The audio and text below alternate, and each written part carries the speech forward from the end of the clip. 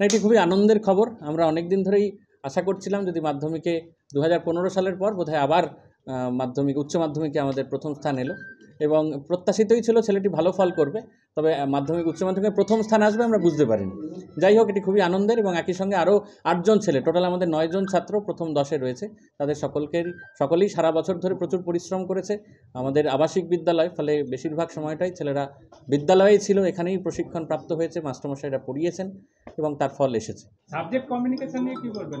Subject combination নিয়ে? একটি খুব বলার কথা আনন্দের কথা যে আমাদের প্রথাগত যে কম্বিনেশন থাকে ফিজিক্স কেমিস্ট্রি ম্যাথমেটিক্স বায়োলজি বা স্ট্যাটিস্টিক্স এইগুলোর বাইরে আহ, আমাদের শুভ্রাংশু এবং নরেন্দ্রনাথ দুজনেরই সাবজেক্ট কম্বিনেশন ছিল ইকোনমিক্স বিতান শাসমল তিনজন ছাত্রের যারা মেধা তালিকায় আছে তিনজনেরই ইকোনমিক্স স্ট্যাটিস্টিক্স কম্পিউটার সায়েন্স এবং ম্যাথমেটিক্স এটি সাধারণত রয়্যাল কম্বিনেশন একটি। প্রত্যেকটি সাবজেক্টে ভীষণ ভালো স্কোর করা যায় পরবর্তীতে জীবনেও প্রচুর সম্ভাবনা থাকে।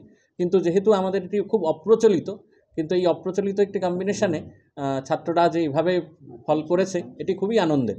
নিশ্চয়ই তাদের ভবিষ্যৎ জীবনও এ নিয়ে মানে সম্ভাবনাময় হয়ে উঠবে। প্রথম দশে আপনাদের কতজন প্রথম আমাদের নজন। প্রথম দশে আমাদের নয়জন রয়েছে। দক্ষিণ চব্বিশ পরগনা তেরো জনের মধ্যে বারো জন এবং উচ্চ মাধ্যমিকে বারো জনের মধ্যে এগারো জন। রসায়নতে কি এত ভালো রেজাল্ট হয়েছে? হ্যাঁ নিশ্চয়ই। মানে আমাদের ছাত্রদের নিয়মানুবর্তিতা আমি গতবারও বলেছি বারবারই সবসময় বলি যে আমাদের ছাত্রদের নিয়মানুবর্তিতা একটি প্রথম কারণ ভালো রেজাল্টের এবং একই সঙ্গে আমাদের ছাত্রদের হাতে মোবাইল ফোন থাকে না। সোশ্যাল মিডিয়ায় তাদের যোগাযোগ ভীষণ কম হোয়াটসঅ্যাপ ফেসবুক টুইটার এগুলোতে যোগা ইনস্টাগ্রামে যোগাযোগ ভীষণ কম। তো ফলে ধারাবাহিকভাবে পড়াশুনো করার সুযোগ হয়। ছেলেরা সবাই একসঙ্গে থাকলে গ্রুপ স্টাডিজের একটা বড় সাফল্য রয়েছে। আর অবশ্যই রয়েছে মাস্টারমশাই বা শিক্ষাকর্মী, তাদের প্রত্যেকের আন্তরিক সহযোগিতা।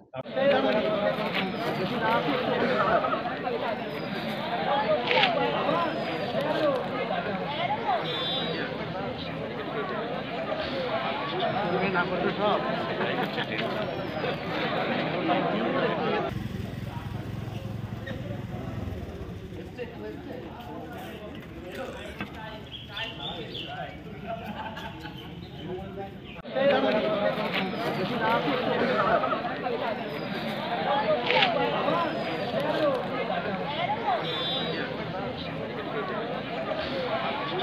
না করবে সব